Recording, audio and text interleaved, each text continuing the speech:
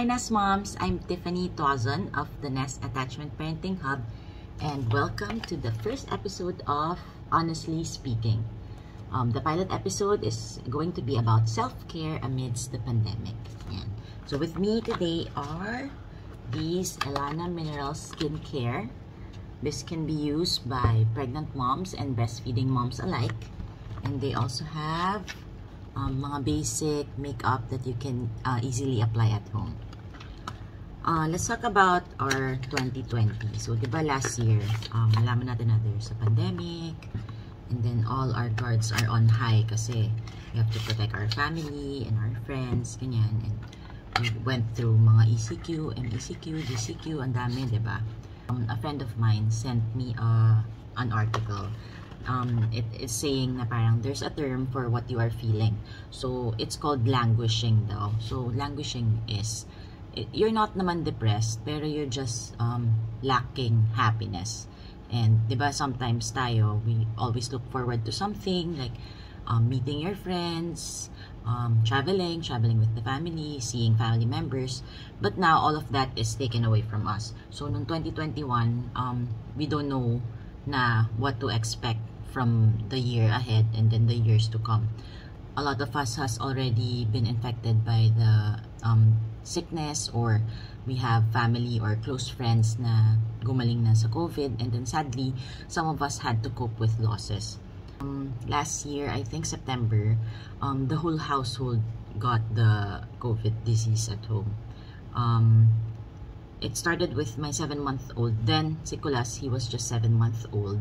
And nag-start na nagkaroon siya ng sipon, tapos nilagnat siya ng slide, and then kami naman ni Yaya, nagkaroon din kami, and then um, it, it wasn't naman, ano, um, medyo mild lang naman yung amin, but uh, thankfully, praise the Lord na uh, we were able to um, recover from it.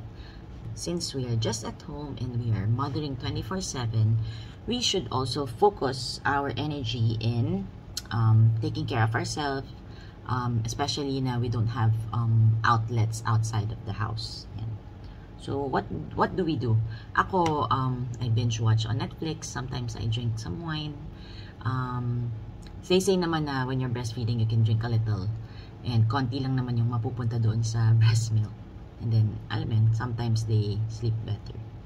Uh, when the babies are asleep, I take my time um, with my skincare routine.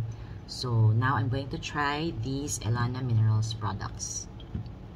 First, uh, it says we should use the toner essence. Toner essence, you can just put three. Um, sa cotton daw eh, pero sans ko na lang muna. So here, it has a very, parang clean yung scent niya. It's very nice. So the toner essence is also will also help hydrate our skin. Yan. And then after the toner, we will use the moisturizer. So ako, I have very problematic skin and um, combination yung skin ko eh. So I have dry areas and very oily areas. So we still need to use moisturizer even if um, uh, we are combination skin or we have oily skin. So this one also two to three pumps. Just spread it all over And also sa neck.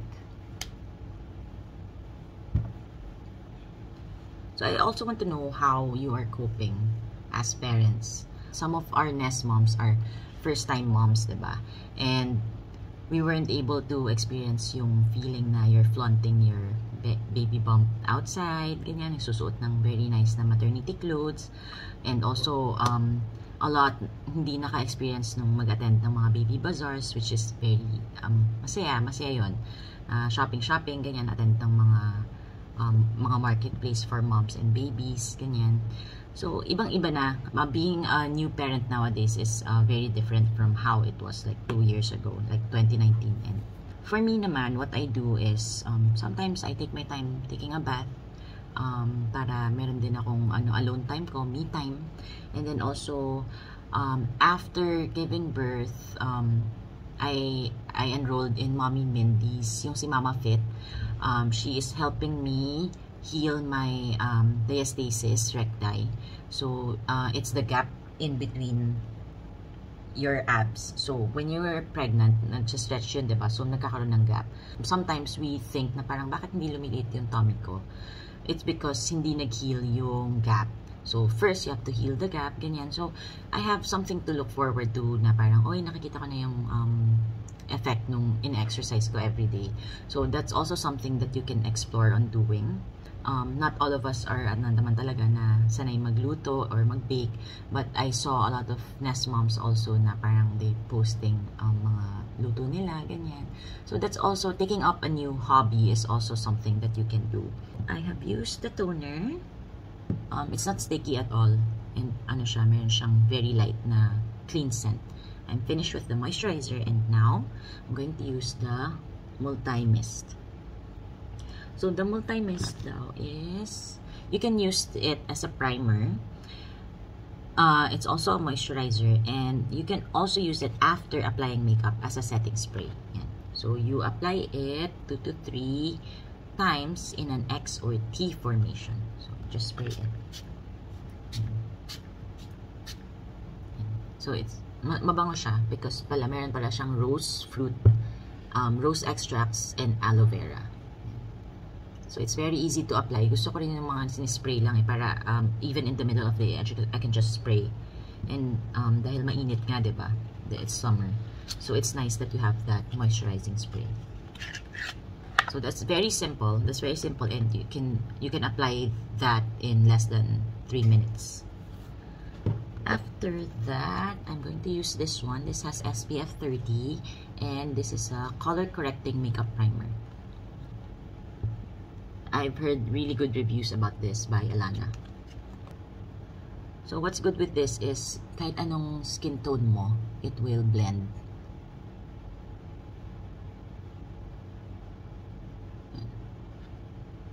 So, it will just give you a healthy glow. It's not very heavy. It's not heavy. Nagbe-blend lang siya dun sa natural skin tone ng skin.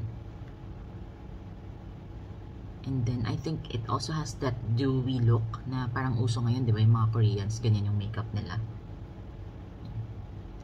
So, I hope you can also comment on how you practice self-care at home and share to other nest moms ng tips kung how you are coping. And also, you can join our Viber community because in the Viber community, ang dami doon support you can talk about anything, ask anything, or yung mga, marami doon yung mga addict mag-add to cart. At least, doon meron kang guidance if uh, a certain product is bagay for your lifestyle and um, if your baby will like it or not. Yan. Para hindi ka lang blindly add to cart ng add to cart because the moms they are really honest. They will tell you if you need it or not. Yan. So I'm really glad that we started that Viber group a year ago. I think kaka-anniversary lang ng Viber group na yun. Because, um, yun nga, we started it because of the pandemic, nung nag-ECQ. Yan. Very nice. And I have to put them sa neck para pantay. So now I'm going to try this one. This is the liquid lip and cheek. So, pwede siya sa cheeks and pwede rin siya sa lips.